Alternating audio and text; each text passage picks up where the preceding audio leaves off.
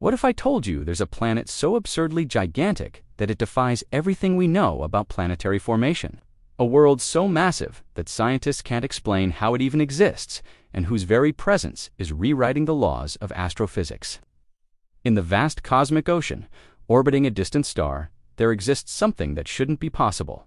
A planet so big, so dense, so impossible, that when astronomers discovered it, they thought their instruments were malfunctioning because what they found was too big to be real.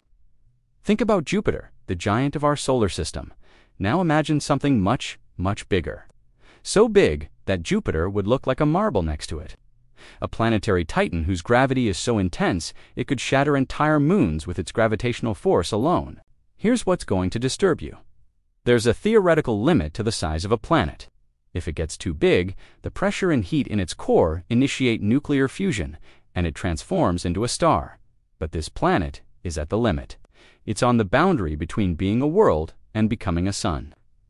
If you're starting to feel the terrifying scale of this cosmic giant, hit that like button and subscribe to the channel to discover more about the most extreme objects in the universe. Scientists discovered that this planet is orbiting its star so closely that a year there lasts only a few Earth days. The temperature on its surface is so high that metals evaporate, and its atmosphere, it's an eternal storm of supersonic winds and rains of molten iron. The truth is that the largest planet ever discovered is ROXs 42b, with approximately nine times the mass of Jupiter and nearly twice its size. It's so close to becoming a star that scientists classify it as a planet on the edge of existence, a giant that defies our understanding of what a world can be. Did you enjoy the video? Then hit that like button and subscribe to the channel. See you in the next video.